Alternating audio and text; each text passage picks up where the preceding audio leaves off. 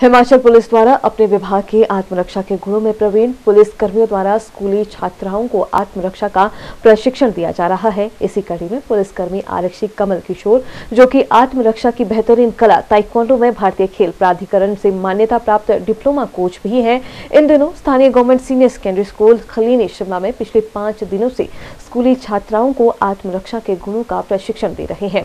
छात्राओं के लिए हिमाचल पुलिस और शिक्षा विभाग द्वारा लगाए गए इस आत्मरक्षा के प्रशिक्षण कैंप से छात्राएँ भी बेहद उत्साहित दिखी। छात्राओं के लिए हिमाचल पुलिस और शिक्षा विभाग द्वारा लगाए गए आत्मरक्षा के प्रशिक्षण कैंप के कोच कमल किशोर ने बताया कि इस प्रशिक्षण में स्कूल की लगभग 90 छात्राएँ अपनी स्वयं की रक्षा हेतु हाथों एवं पैरों के इस्तेमाल से बिना शस्त्र के विभिन्न रक्षात्मक गुण सीख रही हैं। इसके अलावा अनेक महत्वपूर्ण विषयों की जानकारी भी छात्राओं को दी जा रही है।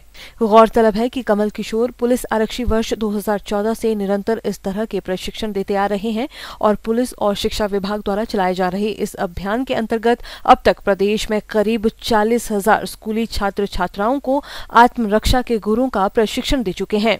और जिस तरह के हम स्कूलों में लड़कियों को, छात्राओं को जो सेल्फ डिफेंस सिखाया जा रहा है, समग्र शिक्षा अभियान, शिक्षा विभाग की ओर से और पुलिस विभाग की सौजन्य से हम पाँच दिन का शिविर लगा रहे हैं हिमाचल के सभी स्कूलों में।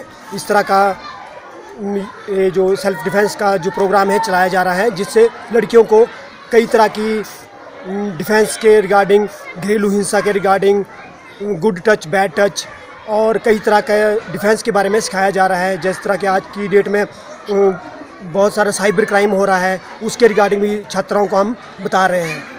कितने दिन का शिविर है सर ये? पाँच दिन का शिविर चलाया जा रहा है। आज हमारा क्लिनी स्कूल में चौथा दिन है। वहीं स्कूल के प्रधानाचार्य सुरेश पठानिया अपने स्कूल में छात्राओं के लिए हिमाचल पुलिस और शिक्षा विभाग द्वारा लगाए गए इस आत्मरक्षा के प्रशिक्षण कैंप से अति उत्साहित दिखे। उन्होंने बताया कि इस तरह का प्रशिक्षण कैंप निश्चित तौर पर छात्राओं का आत्मविश्वास और आत्मबल बढ़ाने में अहम भूमिका निभाएगा। सर्व शिक्षा अभियान की तरफ़ से पाँच दिन का शिविर है, जो आज चौथा दिन है। और लड़कियों को अपनी आत्मरक्षा के लिए इस तरह की ट्रेनिंग बहुत ज़रूरी है। वैसे भी बच्चों के सर्वांगीण विकास के लिए डिफरेंट जो ट्रेनिंग है, वो सर्व शिक्षा अभियान में ऐसा प्रावधान है। और उसी के अंतर्गत ये हम पुलिस डिपार्टमेंट की हेल्प लेकर के अपनी लड़कियों को जो है, ये आत्म सुरक्षा के लिए ये डिफेंस ट्रेनिंग दे रहे हैं। ये पाँच दिन का शिविर है और आज इसका चौथा दिन है। Bureau report city channel, Shimla.